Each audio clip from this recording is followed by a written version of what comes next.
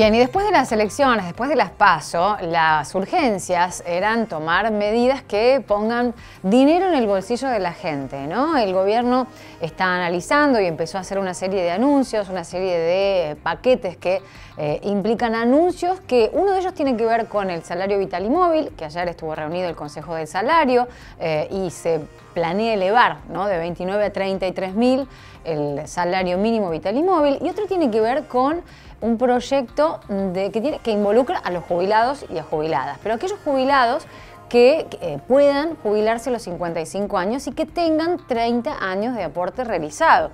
Este proyecto que algunos eh, abogados y abogadas previsionalistas ya tienen en su despacho, salió del despacho de Juan Mansur en el día de ayer y que busca beneficiar a 500.000 personas que actualmente no estén trabajando, pero que no les dé la edad jubilatoria para hacer el trámite correspondiente. Entonces, este proyecto los incluiría.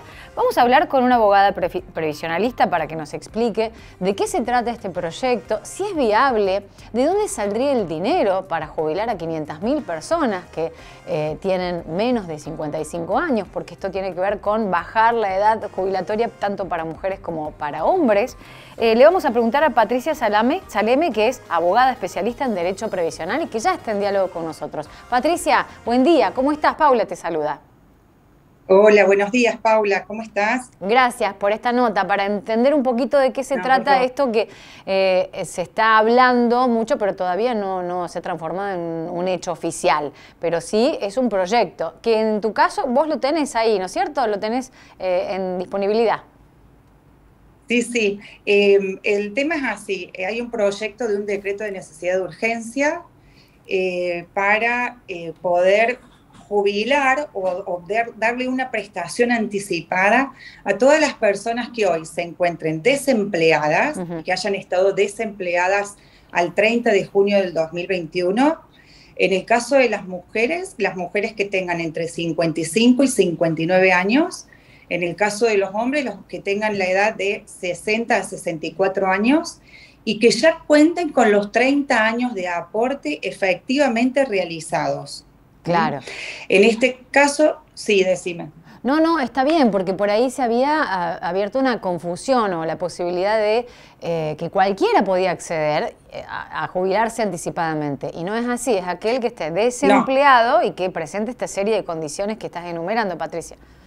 Exactamente, el, tiene que tener un cese al 30 de junio porque sí, si no iba a venir una catarata por ahí de, solicitud de beneficios, eh, porque bueno, renunciarían y se podrían este, adherir a este beneficio.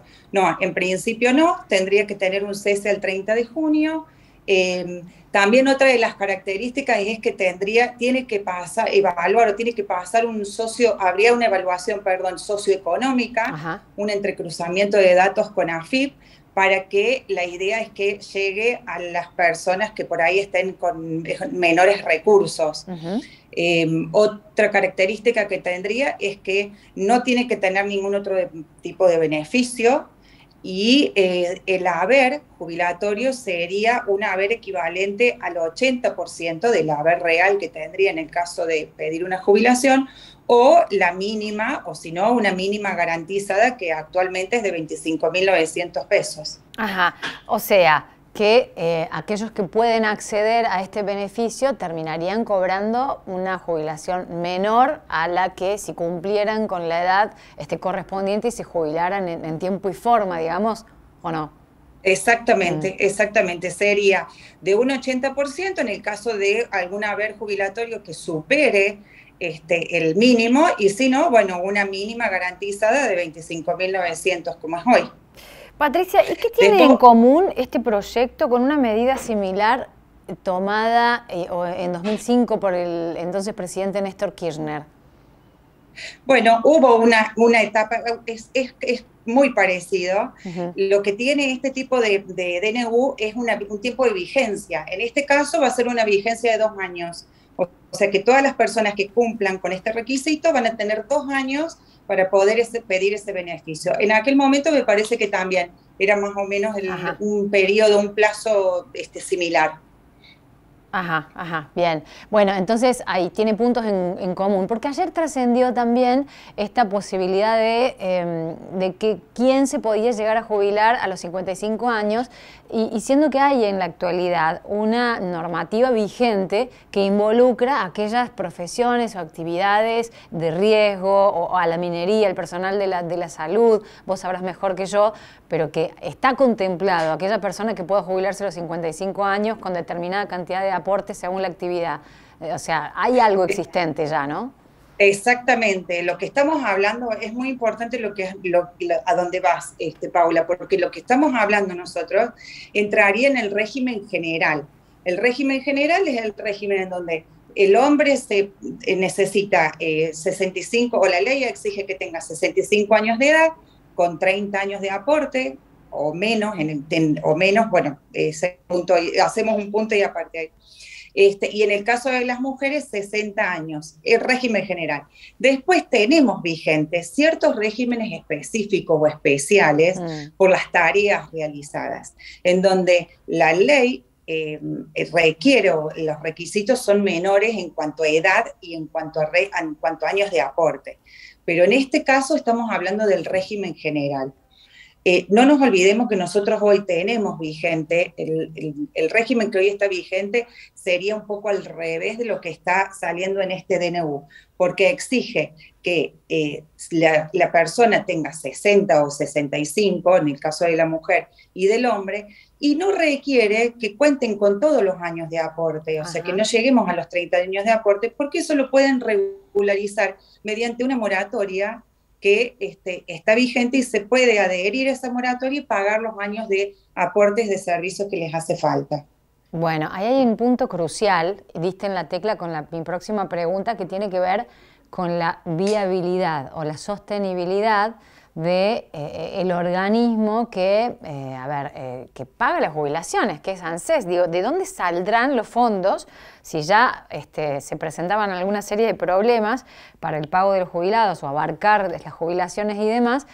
Para 500.000 personas más en este sentido. ¿Existe, es viable, es posible? ¿De dónde saldría ese dinero? ¿Cómo lo ves vos? y bueno, esa es una muy buena pregunta. Mm. Es una buena pregunta que supongo que el Poder Ejecutivo sabrá o proyectará de, qué, de, dónde este, sale este dinero, porque em, convengamos que el, el, sistema previsional nuestro es un sistema solidario. Mm. ¿Qué quiere decir eso? Que se financian los jubilados o los haberes que se les pagan a los jubilados, se financia con los, con los aportes que, sea, que hace la parte activa. Eh, hoy, lamentablemente, nuestro país está pasando por un nivel de desocupación muy alto, entonces eh, es difícil de sostener ese, tipo de sistema. Y en el caso de este decreto de DNU, eh, no nos olvidemos que la expectativa de vida de las personas cada vez va superándose más o va siendo más largo. Entonces, una persona que se jubila a los 55, por lo menos va a tener unos 30 años, hasta los 85 de cobro de beneficio. Entonces, eh, bueno, hay que ver ahí cómo el Estado va a tratar de, sostener ese tipo de beneficios porque, como te digo, es, es muy largo. Se ha estado hablando años atrás de que se va a, correr la edad de la mujer y se va a jubilar, se lo, van a equiparar con la de hombre, del hombre y se, se van a llevar a los 65. Bueno, ahora nos ha sorprendido un poco esto también de bajar la edad, eh, pero bueno, son medidas económicas que, larga el Estado Nacional, indudablemente que en, este marco es para lograr otro tipo de beneficios. Sí, económicas y políticas también, ¿no? En un escenario preelectoral, sin duda, en donde se está buscando otro impacto. Y según tu experiencia, Patricia, em, esto que, acaba de salir del despacho del el flamante ministro eh, Juan Mansur, em, ¿es factible de ser aprobado en las próximas horas? ¿Vos em, ¿qué, experiencia tenés al respecto? ¿Esto es susceptible de ser aprobado y que empiece a correr, digamos? Según lo que, están, lo que estamos escuchando, aparentemente sí. Ajá. Según lo que estamos escuchando, sí. Entonces, eh, sería casi un hecho, bajar la edad jubilatoria a 55 años, pero con un régimen, eh, a ver, general. Eh, entra en el régimen general para aquellos que no estén ocupados en este momento y durante dos años. Exactamente, entran dentro del régimen general y es, este, bueno, eh, están estas ciertas condiciones que se deben cumplir. Pero bueno, en principio, aparentemente estaría todo dado para que esto se, hasta para que esto se implemente. Exacto. Y no se sabe cuándo bien, pero bueno, aparentemente estaría.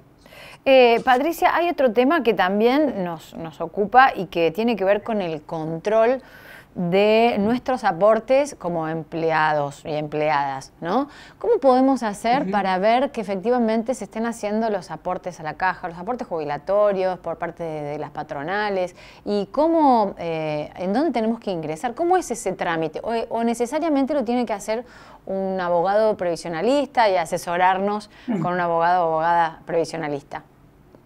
No, en principio para el chequeo de los aportes muy simple. Entrando a la página del ANSES, hay que sacar una clave de seguridad social, entrando a mi ANSES, eh, una clave de seguridad social y entonces ahí el empleado puede ver todos los datos que están cargados, datos personales que están cargados en el ANSES y ahí salen todo, toda la, historia laboral.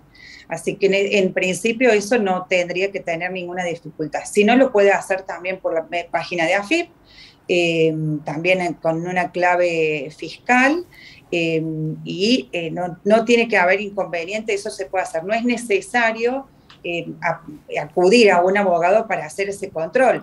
Lo que sí a lo mejor puede ocurrir que una vez que hace ese control se chequean y, y, a lo mejor no coincide con la realidad de sus aportes y entonces ahí llega a necesitar algún profesional como para ordenar la historia laboral y ahí en ese ordenamiento, ¿qué, significa el ordenamiento? Por ejemplo, ¿qué pasa si la empresa no hace los aportes correspondientes? ¿Cómo se reclama? ¿Cómo se regulariza? Bueno, en ese caso hay que intimar a la patronal para que ya sea, si es una patronal en donde ya no trabaja, bueno, se le intima para que se le, haya, se le hagan los aportes que corresponde em, para que le, le, regularice la situación. Si es una, una patronal que está en este momento trabajando también lo puede hacer, pero ya esa es otra área que estaríamos yendo ¿no? a la parte de la Secretaría de Trabajo con un reclamo administrativo o judicial en el caso de corresponder. Bueno, importante, ¿no? Saber que podemos controlar nuestra propia historia laboral, nuestros aportes jubilatorios y empezar a impregnarnos, porque em, por ahí se asocia que, bueno, la cuestión jubilatoria tiene que ver, no, más cuando sea grande, ya veré más adelante cómo se resuelve, digo, y por ahí está bueno ir tomando contacto y conciencia hoy de, de lo que nos va a pasar en un futuro no tan lejano. Patricia, ¿no? Así es, así es. No, y es muy importante, por ahí hay gente que tiene muchas, muchas este, ha realizado muchos trabajos o ha pasado por distintas patronales. Entonces, generalmente yo les aconsejo que unos años antes mm. de iniciar o de llegar a la edad jubilatoria, se puede hacer lo que se llama un reconocimiento de servicios en el ANSES. Entonces, se presentan todos los servicios que ha prestado la persona durante los 30 años, durante los 20 años que ha estado en forma activa, y ya se le solicita al ANSES que se le reconozca esa cantidad de años. Entonces, cuando llega a la edad jubilatoria, hablando del régimen general, por ejemplo, una mujer a los 60 o el hombre a los 65, entonces ya esa etapa que por ahí suele ser lenta, porque a lo mejor hay que verificar esos servicios, a lo mejor no están todo del todo ordenado, ya esa etapa que a lo mejor es un poquito más larga más tediosa, se supera y cuando, llega al cuando llegamos a la edad para solicitar el beneficio, bueno, este, juntamos a lo mejor los últimos años o ya directamente pedimos el beneficio.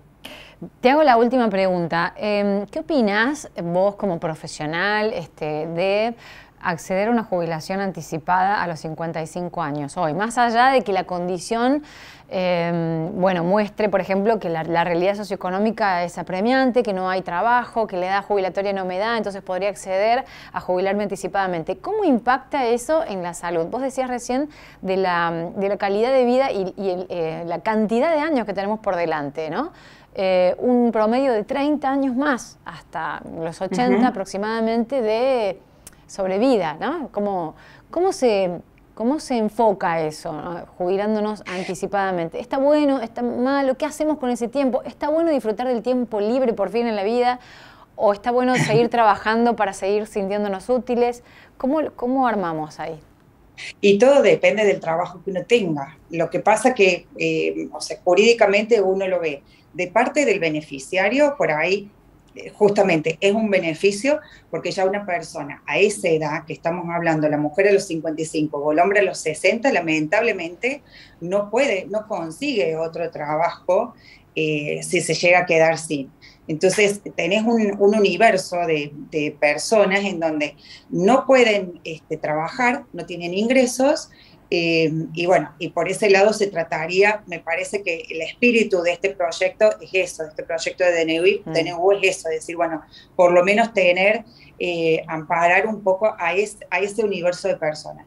Pero por el otro, te vuelvo a repetir, tenemos, eh, bueno, que en algún momento la caja este, se termina la plata. Entonces, hay, mucho, hay, hay, hay, muchos, hay muchos beneficios otorgados ya.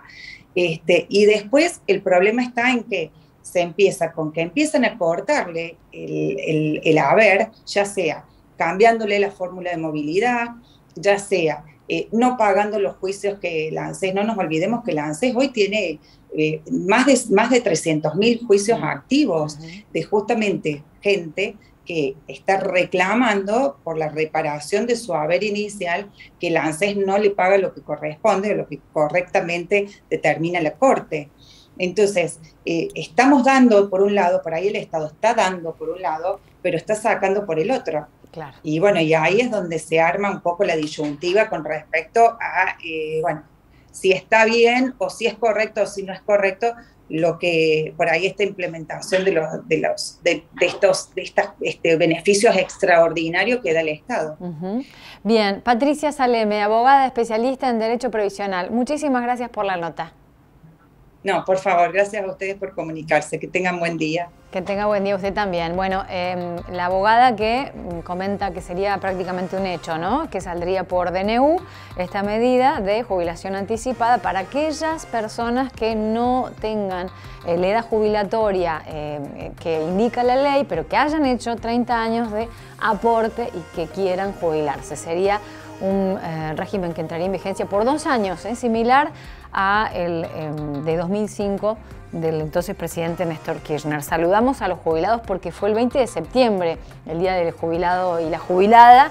Eh, el origen tiene que ver con el principio del siglo XX, en donde en 1904, hace 117 años, cuando se sancionó la ley 4349, fue este, aquella primera ley conocida como la de jubilación durante la presidencia de Julio Argentino Roca, una normativa que establecía un beneficio previsional para empleados públicos del Estado Nacional y así se dispuso crear la Caja Nacional de Jubilaciones y Pensiones que se constituyó como el primer instrumento que otorgó un ingreso a los trabajadores y trabajadoras retirados de su trabajo por edad avanzada, el 20 de septiembre, el día de jubilado y la jubilada.